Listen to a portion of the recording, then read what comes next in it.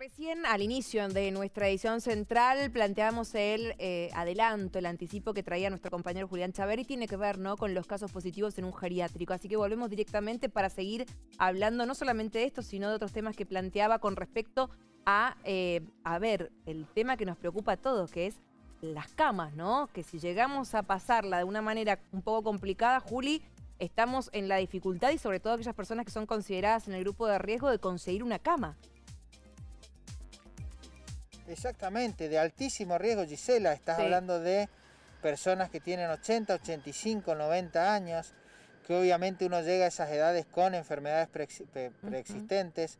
Pero bueno, malas y buenas. La mala es la cantidad de días que hay que esperar para que un hisopado, para que te hisopen y para que te den el resultado. Y en esos días, mucha gente con síntomas, porque no tienen los hisopados, circula contagiando gente, esparciendo el virus por muchas razones, porque la, principal es porque muchos no pueden aislarse 10 días por si las dudas, porque tienen que salir a trabajar, porque tienen que buscar la comida.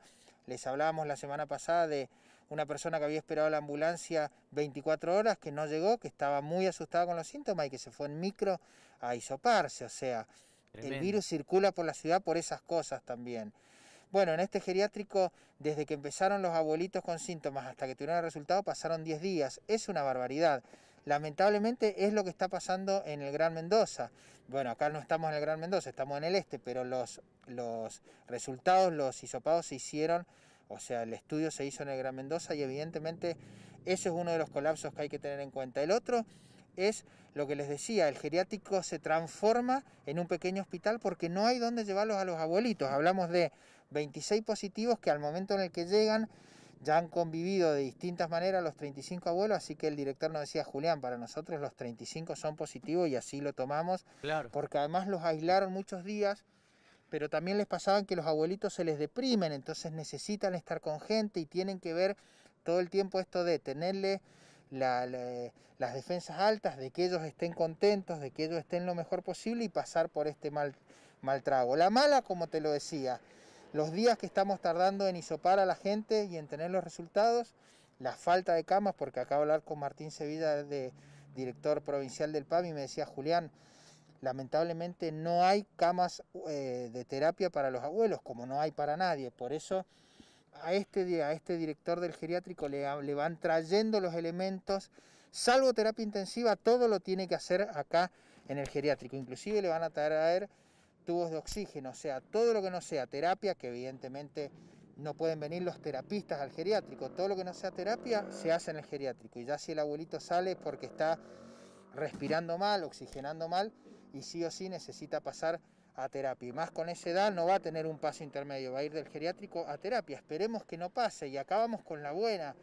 Llegan los resultados 10 días después de los, de los síntomas. ¿Qué significa? Que ya están saliendo. O están afuera o están saliendo. Y me contaba el director, y es muy interesante, que le decían los abuelos, bueno, por ejemplo, una abuela de 90 años, yo estoy contagiada, tuviste el virus, pero ya saliste, le decían, para que no se angustie, porque además si han pasado 10 días y ya no tiene síntomas, lo más probable es que sea cierto, que ya pasó por el virus. Así que buenas y malas, han trabajado muy bien en este geriátrico nos contaba también cómo ellos se tienen que aislar en su propia casa, las 13 personas que atienden a estos 35 abuelitos, porque entienden que todos tienen el virus.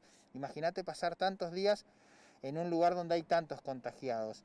El virus está en todas partes, está en los platos, está en los cubiertos, está en los vasos, está en todo lo que tocas. Entonces, obviamente que no pudimos entrar, ni, ni se nos ocurrió, pero tienen muchísimas medidas de seguridad. Los que trabajan se aíslan en sus propias casas y acá adentro se manejan como que están todos contagiados a pasarla, les quedan pocos días porque ya van saliendo, recordemos que los días más complicados para el virus se, sabe y se cree que es el 4 y el día 4 y el día 5, así que parece que estos abuelitos esta vez van a zafar. Y nos decían también, y es cierto, que mover a una persona tan grande y con el virus es complicado y ahí es cuando también se, se, se enferman de más gravedad, así que están en el geriátrico, están bien cuidados, están en comunicación con su familia, siempre por, con la tecnología, nadie los puede venir a ver, Así que bueno, parece que lo peor ya pasó y nos quedan estas dos grandes luces de alarmas para este geriátrico y para todos nosotros. La falta de camas y el tiempo que están tardando los hisopados en hacerse y en tener los resultados. Así que lo hemos dicho mil veces, pero lo vamos a volver a decir. Realmente es, este, es el momento para hacer lo que el gobierno dice, lo que el gobernador dice, hay que salir lo menos posible, por lo menos hasta que esta curva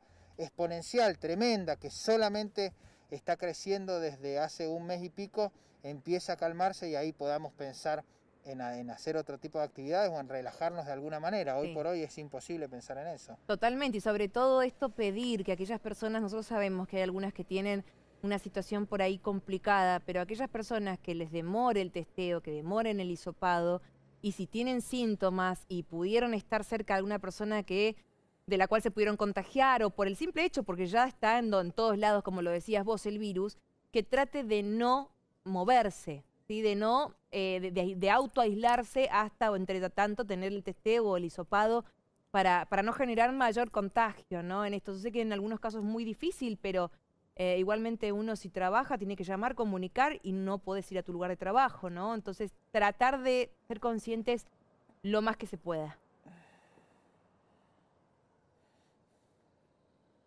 Es difícil, Gisela, es muy difícil porque además si es una persona que vive dentro de un núcleo familiar, no estás hablando de una sola persona, sino de toda una familia que, por ejemplo, tiene que quedarse encerrada, que alguien le haga las compras, que alguien les traiga los elementos, como vos decís, los trabajos, los que tenemos hijas chicas, quién nos cuida a la chica, la hija. Es un tema, Juli. Yo lo sé. te los cuidan, es todo un tema. Sí, es todo un tema, pero bueno. Hay que, hay que ver de, qué manera lo, lo podemos... Sí, pero no queda otra. Lo podemos hacer totalmente. Bueno, muchas gracias, Juli.